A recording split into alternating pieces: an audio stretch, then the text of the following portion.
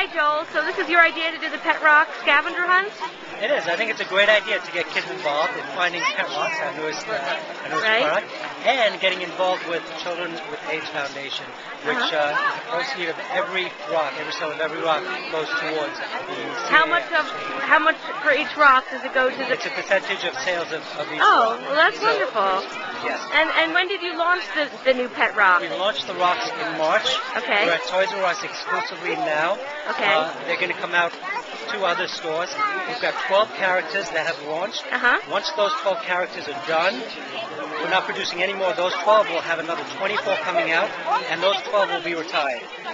So we're looking at retiring those 12, bringing another 24. Like Beanie Babies. Like Beanie Babies, Uh-huh. and each season we'll be bringing out a new set and retiring the old set.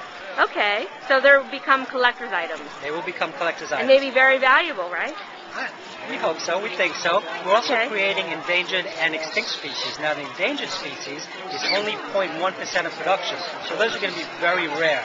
Okay. The extinct species is 0.01% of production. It's very rare. Are you gonna have a, a red panda, for instance? We're not going to have a red panda. No? Uh, not yet. Not in the plans. We've got some others. I can't tip my hat yet. What I can tell you is part of the 12 that we have now, the endangered is a bobcat, Uh huh. and the extinct species is a dodo bird.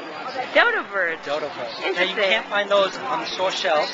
You have to register on the website. What's the website? The website is www.petrockpals.com. Pet Rock Pal. Pals.com. Okay. Register on the website, and you'll enter to win an endangered or extinct. Oh, Okay, well, thank you. It's a good cause, and everyone who has children should get a pet rock.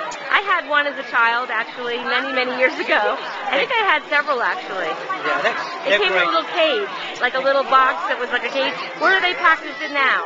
They're, they're actually they're, they're packaged in a blister card. Uh, they don't come with instructions or anything. We leave all that up to the kids. Each one is a character. So we've got pet rocks that are cows and, and pigs and, and dogs, and we've got all different characters, 12 assorted characters. Okay. And we're really going to expand that out. Okay, great. Well, thank you so much, and it's been a fun day in Central Park, Thank the zoo, actually. Thank you.